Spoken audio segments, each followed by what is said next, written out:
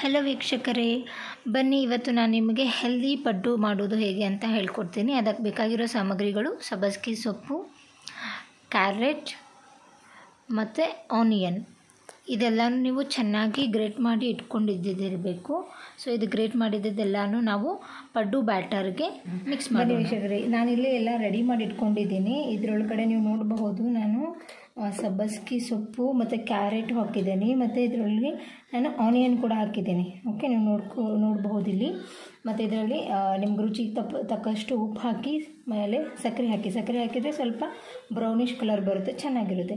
ಮತ್ತು ನೀವು ಸ್ಪೈಸಿ ನಿಮಗೆ ಸೇರೋದಾದರೆ ನೀವು ಸ್ವಲ್ಪ ಸ್ವಲ್ಪ ಮೆಣಸಿನದು ಪೇಸ್ಟನ್ನು ಹಾಕೋಬಹುದು. ನಾವು ಸ್ಪೈಸಿ ತಿನ್ನೋದ್ರಿಂದ ನಾನು ಸ್ವಲ್ಪ ಇಲ್ಲಿ ಮೆಣಸಿನ್ಕಾಯ್ದು ಪೇಸ್ಟ್ ಮಾಡಿ ಇಟ್ಕೊಂಡಿದ್ದೀನಿ ಅದನ್ನು ಸ್ವಲ್ಪ ಹಾಕಿ ಮಿಕ್ಸ್ ಮಾಡ್ತಾಯಿದ್ದೀನಿ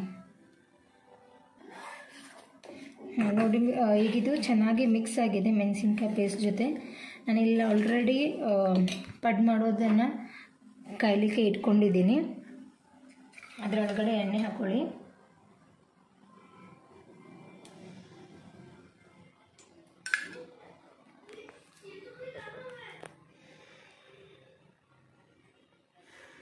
ಓಕೆ ಈಗ ತವ ಆಲ್ರೆಡಿ ಕಾಯ್ದಾಗಿದೆ.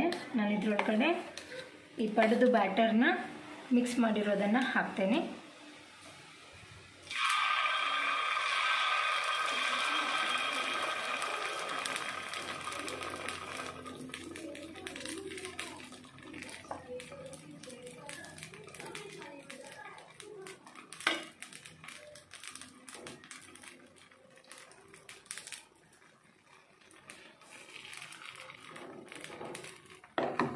ಓಕೆ ವೀಕ್ಷಕರೇ, ಈಗ ಇದನ್ನು ಲಿಡ್ ಕ್ಲೋಸ್ ಮಾಡೋಣ.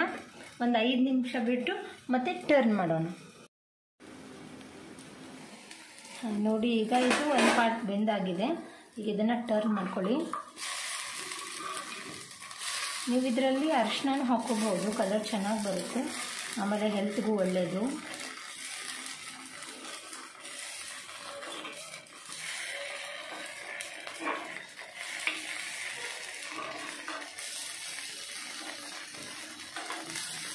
ಪಡ್ದು ಬ್ಯಾಟರ್ ಮಾಡ್ಕೊಳ್ಳೋದಂತೂ ನಿಮಗೆಲ್ಲ ಗೊತ್ತೇ ಇರುತ್ತೆ ವೀಕ್ಷಕರೇ. ಆ ಥರ ಪಡ್ ಬ್ಯಾಟರ್ ಮಾಡ್ಕೊಳ್ಳಿ, ಅದಾದಮೇಲೆ ಕ್ಯಾರೆಟ್ ಸಬ್ಬಸ್ಗಿ ಸೊಪ್ಪು, ಮತ್ತು ಅವನಿಗೇನೆಲ್ಲ ಮಿಕ್ಸ್ ಮಾಡಿದ್ರೆ ಹೆಲ್ತ್ಗೂ ಒಳ್ಳೆಯದು ಆಮೇಲೆ ಚಿಲ್ ಚಿಲ್ಡ್ರನ್ಸ್ಗೂ ತಿನ್ನೋದಕ್ಕೂ ಒಳ್ಳೆಯದು ಮಕ್ಕಳು ಹಾಗೆ ತಿನ್ನೋದಿಲ್ಲ, ಒಂದೊಂದು ಕ್ಯಾರೆಟ್ ಎಲ್ಲ ತಿನ್ನೋ ಅಂತಂದು ಸೊ ಈ ಥರ ಮಿಕ್ಸ್ ಮಾಡಿ ನೀವು ಕೊಟ್ಟರೆ ಅವ್ರಿಗೆ ತುಂಬ ಇಷ್ಟ ಆಗುತ್ತೆ ಹಾಂ, ಈಗ ಇದು ರೆಡಿ ಆಗಿದೆ. ಇದನ್ನ ಒಂದು ಬೌಲ್ಗೆ ತೆಗೆದುಕೊಳ್ಳಿ.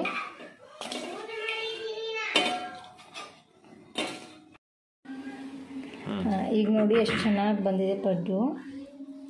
ನೋಡಿ, ಎಲ್ಲ ಒಳಗಡೆ ಎಲ್ಲ ಎಷ್ಟು ಚೆನ್ನಾಗಿ ಬೆಂದ್ಕೊಂಡಿದೆ ಕ್ಯಾರೆಟ್ ಸಬ್ಬಸ್ಗೆ ಆನಿಯನ್ ಎಲ್ಲ ಎಷ್ಟು ಚೆನ್ನಾಗಿ ಕಾಣಿಸ್ತಾ ಇದೆ. ಟೇಸ್ಟು ತುಂಬ ಚೆನ್ನಾಗಿರುತ್ತೆ ವೀಕ್ಷಕರೇ. ಸೊ ನೀವು ಮನೇಲಿ ಈ ಥರ ಮಾಡಿ ಮಕ್ಕಳಿಗೆ ಕೊಟ್ಟರೆ ತುಂಬಾ ಇಷ್ಟ ಆಗುತ್ತೆ. ಪ್ಲೀಸ್ ಟ್ರೈ ಮಾಡಿ. ಈ ರೆಸಿಪಿ ನಿಮಗೆ ಇಷ್ಟ ಆದರೆ ಪ್ಲೀಸ್ ನನ್ನ ಚಾನಲ್ಗೆ ಲೈಕ್ ಮಾಡಿ ಸಬ್ಸ್ಕ್ರೈಬ್ ಮಾಡಿ, ಮತ್ತು ಕಮೆಂಟ್ ಮಾಡಿ. Thank you